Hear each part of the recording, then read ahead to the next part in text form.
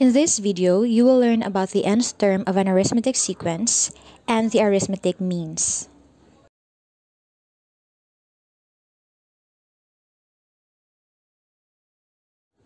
The nth term of an arithmetic sequence is in the form a sub n is equal to a sub 1 plus quantity n minus 1 times d. Here, a sub 1 refers to the first term, d is a common difference, and a sub n is the nth nth term, while n is the number of terms. Okay, for example 1, solve for the 20th term of the sequence 1, 5, 9, and 13. First, you are going, we are going to write our sequence 1, 5, 9, and 13. And then we will extract from here our values. So for A1, our first term is just 1. Next, we'll solve for D. D is just the common rate of increase or decrease for every term. So from 1 to 5 is plus 4, 5 to 9 is also plus 4, 9 to 13 also plus 4. In other words, RD is positive 4. Next is the value of our n. So the number of terms that we are going to find is the 20th. So n is equal to 20.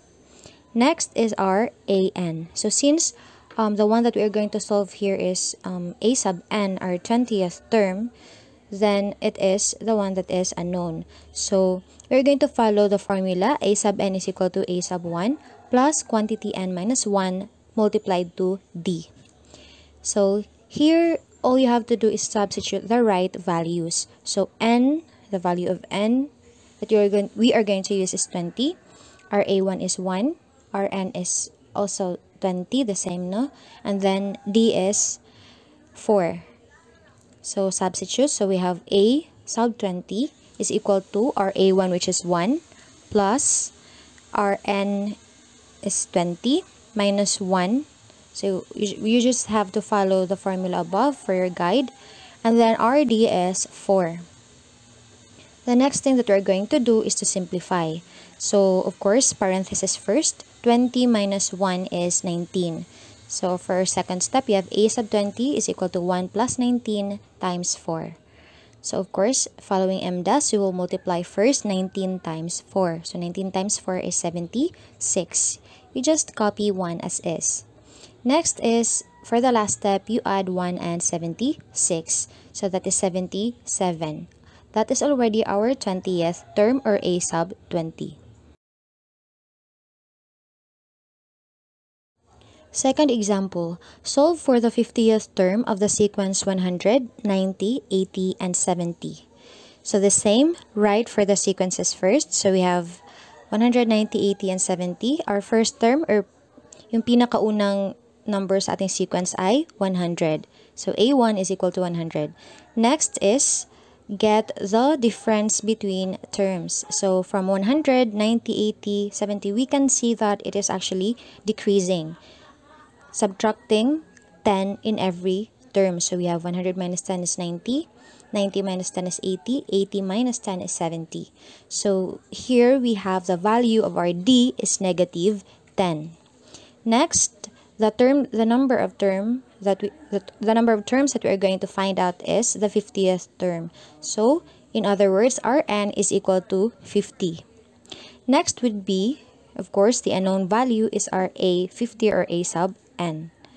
The same follow the formula a sub n is equal to a sub 1 plus quantity n minus 1 times d. So we have a, is 50 equals a1 is 100 plus n minus 1. So we have 50 minus 1 and then our d is negative 10. If we are going to have a value of d which is negative, make sure to use a parenthesis after our uh, quantity n minus 1 to denote that it is not minus 10 but it is times 10 or multiplied to 10. Next is simplify. Inside the parenthesis, you have 50 minus 1. So we have, that's 49. And then, following MDAS, so we have 49 times negative 10. And that's just negative 490. For our last step, so yung 100 as is lang. And then we have a sub 50 is equal to 100 plus negative 490. So its sum is negative 390. So a sub 50 or the 50th term is negative 390.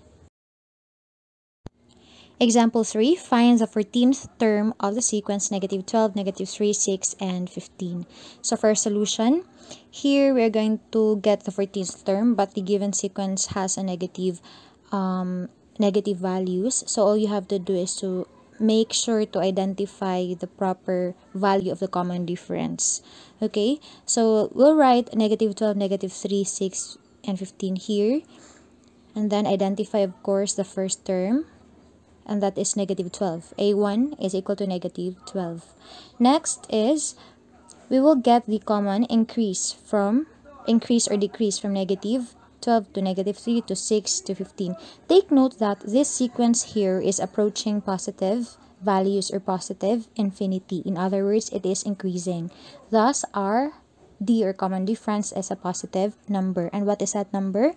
We have positive 9 or plus 9. Take note that negative 12 plus 9 is negative 3, negative 3 plus 9 is 6, and 6 plus 9 is 15.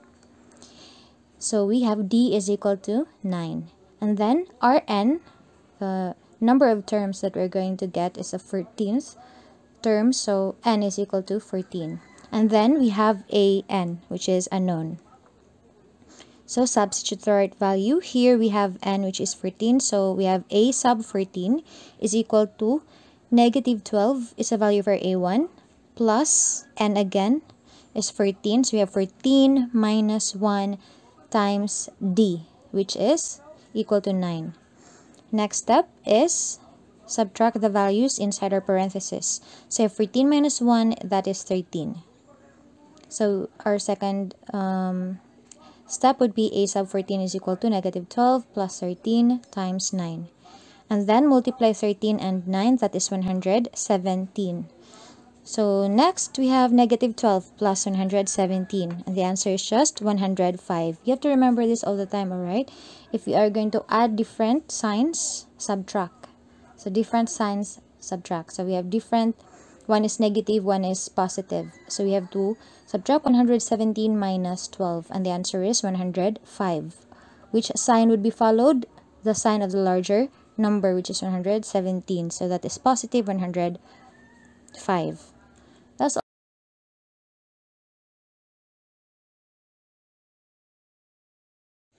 Okay, example 4. Which term of the arithmetic sequence is negative 57 given that a1 or a sub 1 is equal to negative 2 and a sub 2 is equal to negative 7? So you're going to write the sets of given values. So yung a1 ang given isa at a2. Remember that a sub 1 is the first term and a sub 2 is the second term. So magkasunod lang sila, alright? So we have negative 2 and then negative 7 and then dot dot dot which denotes that our sequence is infinite. Okay, next would be, we'll try to write the next term after negative 7. Okay, following that the increase from negative 2 to negative 7, the increase or decrease between them. So we can say that the next one is negative 12 and then we have negative 17 afterwards and negative 22 afterwards. So here we can view the sequence as um, negative numbers that actually is going to negative infinity or it approaches to negative infinity. So the increase here or decrease, which is actually 5, is of negative value. So we these sequences here, it's negative 2, negative 7, negative 12, negative 17, and negative 22. It's is actually decreasing. Okay, so we have negative 5 as a value of our D. And next, we have a sub 1, which is negative 2, or first term is negative 2. And then, this negative 57 here, in our example, fourth item, is actually our a sub n. And then, unknown is the value of n. Following the formula, a sub n is equal to a sub 1 plus quantity n minus 1 times d, we have, okay, we'll write the value of a sub n first. It's negative 57. Next, a sub 1 is negative 2. And then n is unknown, so we will just copy n minus 1. And then d is negative 5. So, here in simplification, you have to remember that uh, the concepts that you've learned on binomial times a monomial or binomial monomial multiplication. So we have negative 57 is equal to negative 2. Just copy the rest. And then multiply n times negative 5. That's negative 5n. Next, we have minus 1 or negative 1 times negative 5. That's plus 5. And then, manipulate your equation. Transfer the unknown, the term with an unknown um, quantity to the left side of the equation. That's negative 5n. So from negative 5n, it becomes positive 5n. And then, also negative 57, you transfer it to the right side. All the constants should be on the right side of the equation. So the first constant is negative 2 and plus 5. You just copy it. Do not change its sign since we're not transferring it from one side of the equation to the other. The one that we're going to change here is only negative 57 since it's from the left side of the equation. So you have from negative 57, it becomes positive 57. Next, we have to simplify. Add 5 plus 57 is 62 and negative 2 plus 62 is positive 60. And then, to solve for n, divide both sides of the equation by 5. So we have 60 divided by 5 is 12 and 5 divided by 5 is 1. So we have n is equal to 12. That's the number of n. In other words, negative 57 is the 12th term of the sequence. Example 5. Find a sub 1 if a sub 5 is equal to 66 and a sub 6 is equal to 72. For our solution, we will plot the given values first. So since the given one is a sub 5, that's the fifth term. So we're going to write 66 as our fifth number here. Okay? Blank muna yung iba. And then, the next given value is a sub 6 or the sixth term is 72. So we will write it after 66. So you have 66 and then 72. Okay, we'll find its increase. Of course, it's very um, easy, no? So from 66 to 72, that's just plus 6. So our D is equal to 6. Next, our A sub N. For our A sub N, we will just choose 66 or 72 since we already have um, those given values. So if we will choose 66, so we have a sub n is equal to 66, then our n is equal to 5 since 66 is the fifth term. Okay, you got it. You got that item there.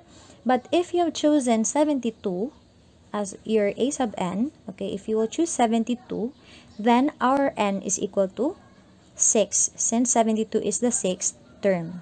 Okay, so for this particular example, we will choose 66 which is the fifth term. So we have a n is equal to 66 and n is equal to 5. And then the unknown value is a sub 1. So we will see if this is as easy as the previous examples. Okay, so the same follow the formula a sub n is equal to a sub 1 plus quantity n minus 1 times d.